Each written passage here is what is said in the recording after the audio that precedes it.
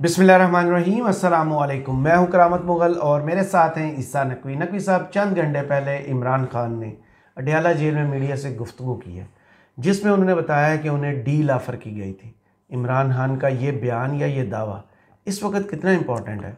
देखिए इस वक्त ना करामत मुगल साहब, इमरान खान ने जो बातें की हैं आ, मेरा ख्याल है कि अब तक की जितनी उनकी मीडिया टॉक्स हुई हैं इसमें one of the most important media talks. उसकी वजह क्या है वो मैं आपको बताऊँगा। बहुत सारे ऐसे सवाल हैं जिनका जवाब उसी मीडिया टॉक में मौजूद है।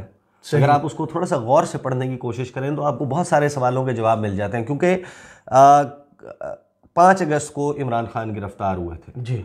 और लगभग चार या पाँच दिसंबर को अडयाला जेल में उनका मीडिया से पहला इंटरेक्शन हुआ था। बिल्कुल। हमारे कॉलीग साकिब बशीर वगैरह ये लोग गए थे, इनकी मुलाकात हुई उस केस की पेशी के दौरान और उस इंटरेक्शन को आके उन्होंने बाहर रिपोर्ट किया था। उसके बाद से ऑनवर्ड ये दो फरवरी तक इमरान खान की तकरीबन हर दूसरे तीसरे दिन मीडिया के साथ मुलाकात हुई है इंटरेक्शन हुआ है। सवाल किए मीडिया ने, जवाब दिए इमरान खान ने, बहुत सारे सवाल जो नहीं भी किए मीडिया ने इमरान खान ने मुख्तलिफ़ मामला के हवाले से अपनी राय का इजहार किया। स्टेटमेंट्स दी हैं। बिल्कुल। उन स्टेटमेंट्स को कभी मेन स्ट्रीम मीडिया के ऊपर इजाज़त मिली है कि वो चल जाएँ? कभी नहीं मिली। लेकिन वो रिपोर्ट सारे हुए अखबार में हुए हैं। वो वेबसाइट्स के ऊपर चले हैं वरना सोशल मीडिया पे बहरहाल मौजूद रहे। तो उसमें अभी तक इमरान खान ने आप सोचिए कि दो तीन फरवरी तक दिसंबर के आगाज़ से पहले हफ़्ते से एक भी मरतबा इमरान खान साहब ने ये बात क्यों नहीं की? क्योंकि ये वो बात कर रहे हैं जब वो अटक जेल में थे। सही। अभी तक तो पुलों के नीचे से अटक पुल के नीचे से कितना पानी बहिर अरब में जाके भाप बन के भी उड़ चुका होगा ना? बिल्कुल। तो इतना वक्त गुजारने के बाद अगर बात किया तो उस बात का कोई मकसद भी होगा। सही। अब ज़रा इसको ना थोड़ा सा मुख्तलिफ़ ऑर्डर्स में देख लेते हैं और ख़ान साहब ने क्या कहा। एक चीज़ जहन में रखिएगा। ख़बर जो है वो उसके फिर तीन एंगल्स हैं ख़ास तौर पे इस वैसे तो यानी कि ख़बर की नौीयत पर डिपेंड करता है लेकिन एक होता है ख़बर देने वाला। हम्म। एक है जिन दो पार्टियों की इन दिस केस मुतलक बात की गई है कि इमरान खान और इस्टेब्लिशमेंट अब ये तीन एंड्स हैं। हम्म। ये दावे कि इमरान खान से रबता हो गया जेल में इमरान खान को कोई पेशकश कर दी गई है ये तो अगस्त के महीने से चल रहा है। बिल्कुल। गैर मुसदा था बहुत सारे लोग इस हवाले से दावा कर रहे थे। लेकिन उसकी कोई तस्दीक किसी भी एंड से नहीं आई थी। ना इमरान खान के एंड से आई थी और दूसरी तरफ़ से तो ज़ाहिर है कि दे हैव अपना अनडिक्लेयर्ड अनऑफिशियल स्पोक्स पर्सन लेकिन उनका डायरेक्ट तो कोई नहीं है कि वो आके एस पी आर तो प्रेस कॉन्फ्रेंस नहीं करेगा। सही। अभी जो तस्दीक आई है जी। वो इमरान खान के एंड से आई है। इसमें एक एंड और है। हम्म। उनका भी तो कोई मौक़ होगा। सही। इंतज़ार करें हो सकता है वो भी आ जाए। हो सकता है शाम को ही आ जाए। जो लॉजिकल बात है। वो मैं आपको बताता हूँ। लॉजिकल बात ये है जो मनतकी है जो समझ में आने वाली है कि ये मुझे मुमकिन नज़र नहीं आता कि इमरान खान से कोई रबता ना हुआ सही। डायरेक्टली इनडायरेक्टली इस तरीके से या उस तरीके से। हम्म। आपने इलेक्शन की तरफ़ जाना है एक पॉलिटिकल क्वागमायर है दलदल है। जिसमें इस वक्त पाकिस्तान फंसा हुआ है इमरान खान एक इंपॉर्टेंट स्टेक होल्डर है बल्कि one of the most important political player है और आवाम में मकबूल है। तो आपने इलेक्शन के बाद कोई लेजिटिमेसी देनी है गवर्नमेंट को निज़ाम हुकूमत चलाना है मुल्क को नॉर्मलाइज करना है बैक टू नॉर्मल लेकर आना है तो उसके लिए आ, सिर्फ़ यानी कि स्टिक पॉलिसी तो नहीं होती ना कैरेट एंड स्टिक होती है हम्म। तो ये कैसे मुमकिन है कि आपने कॉर्नर किए जा रहे हैं दबाव डाले जा रहे हैं और आपने कोई बात ना रखी हो? तो ये लॉजिकली ये तो समझ आता है कि इमरान खान से बात हो लेकिन इमरान खान से यही बात हुई। इस बात की मेरे पास कोई वो नहीं है। सही। हो सकता है कि इसके अलावा भी कोई हुई हुई हो। यही बात थोड़ी मुख्तलिफ़ अंदाज में हुई हो। वो तो फिर अब तीसरा फरीक बता सकता है ना कि वो भी अगर इसको कंफर्म कर दे तो फिर तो आपके पास ख़बर देने वाला भी मौजूद है और ख़बर के दोनों फरीक जो हैं वो भी अगर तस्दीक कर दें फिर तो हंड्रेड परसेंट सब्सटेंशिएट हो जाती है। लेकिन ये बात बड़ी इंपॉर्टेंट है। जी। और जिस वक्त की गई है वो बहुत इंपॉर्टेंट है। उसकी सिग्निफिकेंस पे आने से पहले आई क्विकली गो थ्रू क्योंकि वेबसाइट्स पे और अदरवाइज़ जो ये रिपोर्ट हुई है ये कंप्लीट रिपोर्ट नहीं हुई। जो रिपोर्टर्स ने टिकर्स फ़ाइल किए हैं वहाँ से जिन्हीं से चलते हुए आपको नज़र आ रहे होते हैं वो भी खैर आजकल टीवी पे तो नहीं चलते इनके खान साहब के। लेकिन हमारे जो न्यूज़ के ग्रुप्स हैं, उसमें आ जाते हैं। वो तरतीब वार जो गुफ्तु रिपोर्टर्स ने अपने चैनल्स को भिजवाई है, वो इस तरतीब में आती है।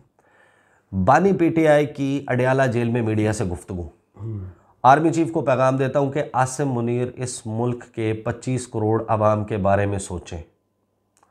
तारीख ने आपको मुआफ़ नहीं करना, ये मुल्क के मुस्तबिल की बात है। जिस तरह का इलेक्शन कराने जा रहे हैं मुल्क की मीशत तबाह होगी। मुस्तकम जमहूरीत के बगैर किसी मुल्क की इकानमी ऊपर नहीं जाती। इंट्रा पार्टी इंतबात इसलिए मुलतवी किए क्योंकि हमारे लोग अभी छुपे हुए हैं। मुझे डील ऑफ़र हुई। तीन साल खामोश होकर पीछे हट जाएँ। ये डील है जो खान साहब बता रहे बनी गाला बैठ जाएँ। मैंने वही जवाब दिया जो हकीकी आज़ादी के नारे लगाने वाले को देना चाहिए। ये ऑफ़र मुझे उस वक्त की गई जब अटक जेल में बंद था। इस पैगाम से इस्टेब्लिशमेंट की शराइ सामने आ गई कि बारियाँ बारियाँ खेलो। पहले तुम मज़े लो फिर हम मज़े लेंगे। यानी पहले एक सियासी फ्रीक आ जाए फिर दूसरा आ जाए। फिर खान साहब कहते हैं कि मैंने साइफर केस में 342 के बयान पर दस्तखत नहीं किया। फैसले में कैसे लगाया गया? मतलब है इसको एडिट किया गया। फिर खान साहब कहते हैं कि इंतबात का नया सिस्टम नून लीग और इलेक्शन कमीशन ने हैक कर लिया है। सारी जमातें तैयार रहें, इन्होंने पोलिंग एजेंट्स को उठाना है और रिज़ल्ट्स का ऐलान कर देना है। पीपल्स पार्टी जमात इस्लामी अपने पोलिंग एजेंट्स को फॉर्म बी मिलने से पहले पोलिंग स्टेशन से ना निकलने की हिदायत करें।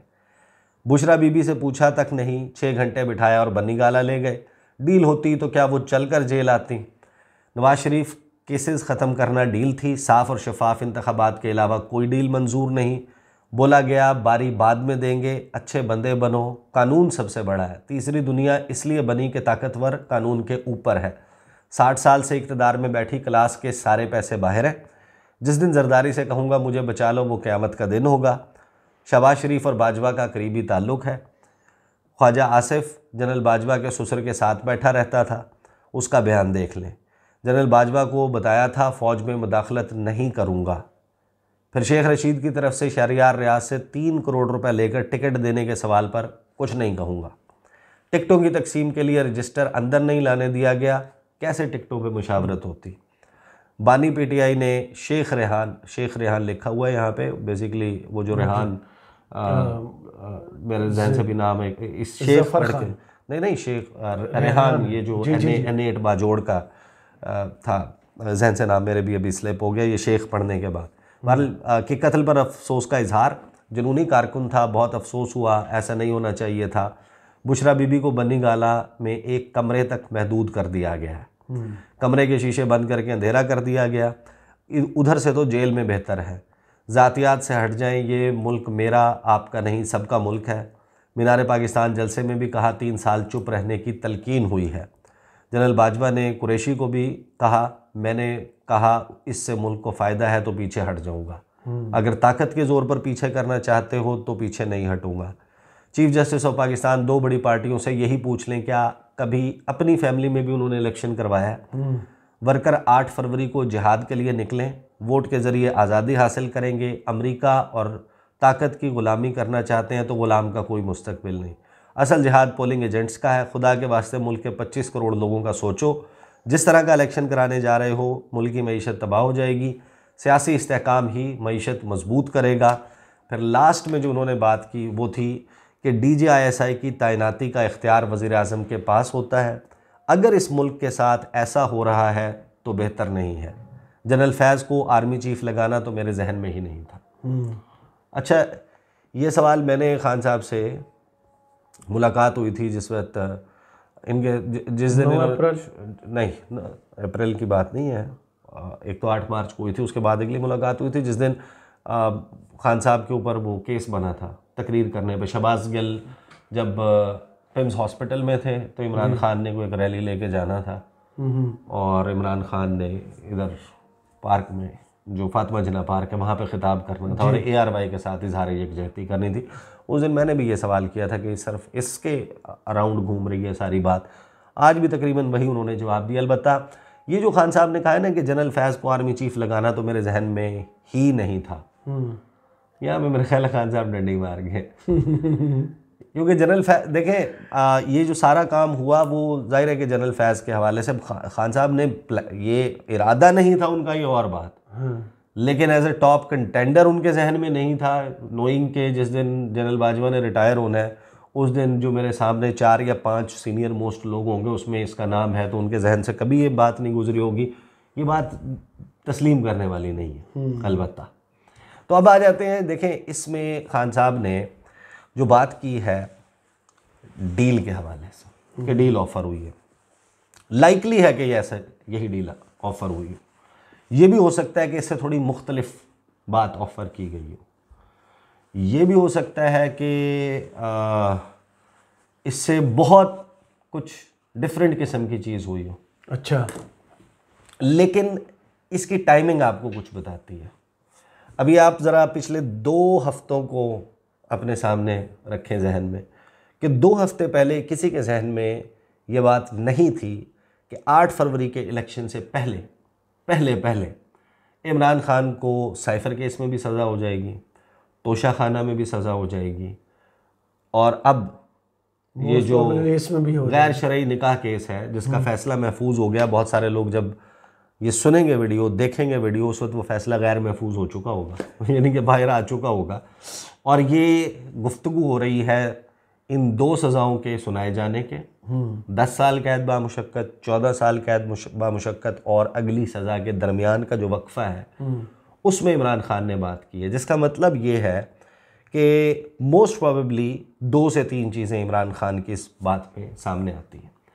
एक ये कि उनको शायद ये भी लगता है कि शायद ये उनकी इलेक्शन से आठ फरवरी से पहले आखिरी मीडिया टॉक है। हाँ।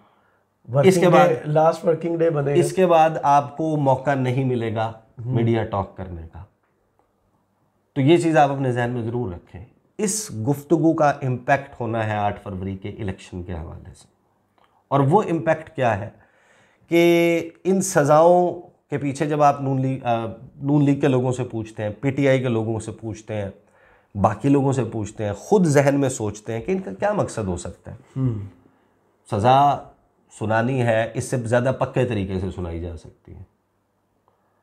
ओपन ट्रायल करके कोर्ट में ला के यहाँ पे F eleven F ten sorry G G. Eleven वहाँ पे आपके घर भी हुआ करता था एक जी जी जी जी। तो उसके साथ ही वहाँ पर जुडिशियल कम्प्लेक्स हाँ जो जुडिशियल कम्प्लेक्स में ला के भी सुनाई जा सकती थी सर। ये पूरा केस वहाँ पे चल सकता था। सही। जो कानूनी जबते हैं वो पूरे हो सकते थे। सही।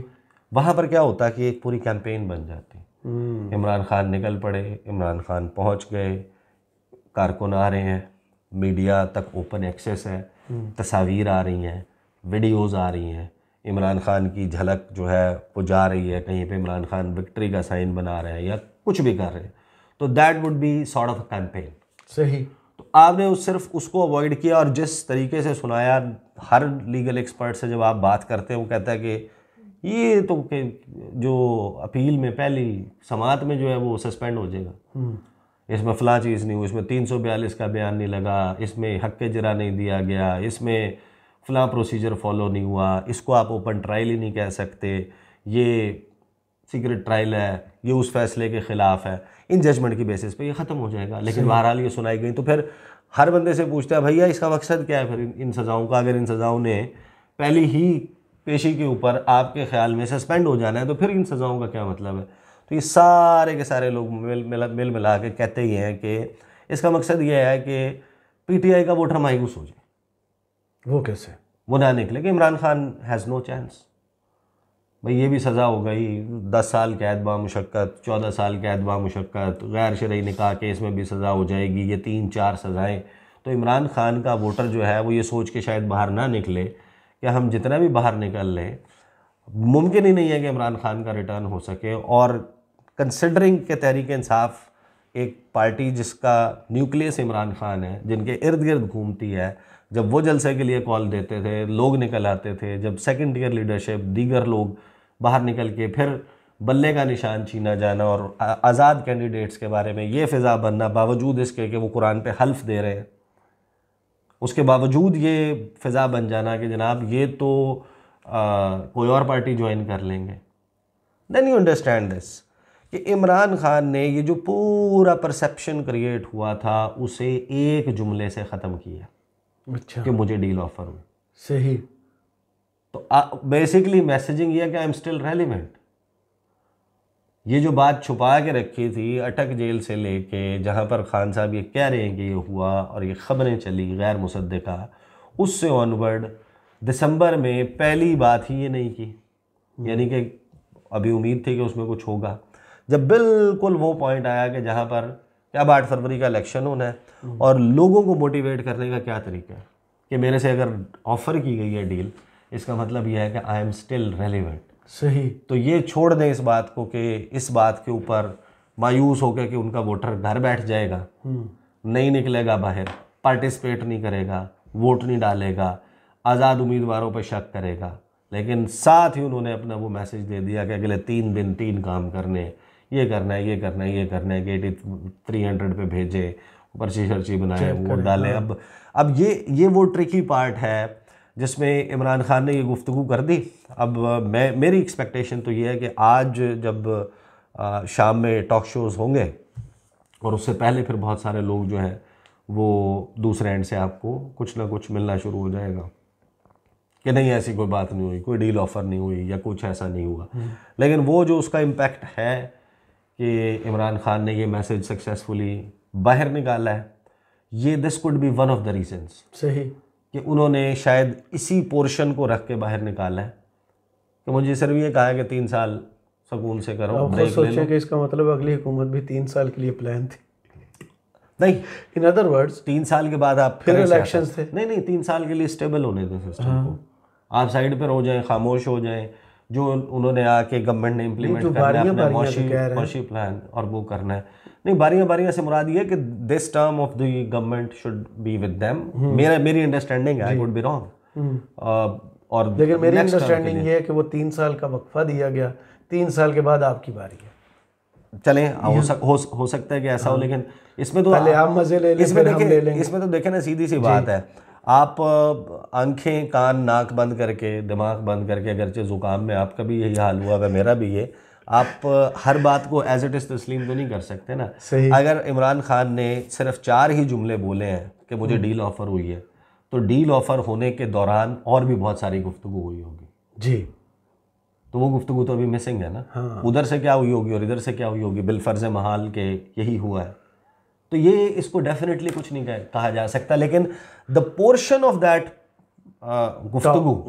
जो इमरान खान के एंड से बाहर आई है उसका मुझे इस वक्त टाइमिंग और मकसद ये लगता है कि अपने वोटर को अपने सपोर्टर को अपने वर्कर को उन्होंने हौसला दे दिया कि ऐसी भी बात नहीं है। हम्म। गल बात चल रही है। ये है मेरे ख्याल। सही। बहुत शुक्रिया ईसा नकवी आपके तजिए का। कमेंट्स बॉक्स में ज़रूर बताई गई वीडियो आपको कैसी लगी? इजाज़त दीजिए। अल्लाह हाफिज़।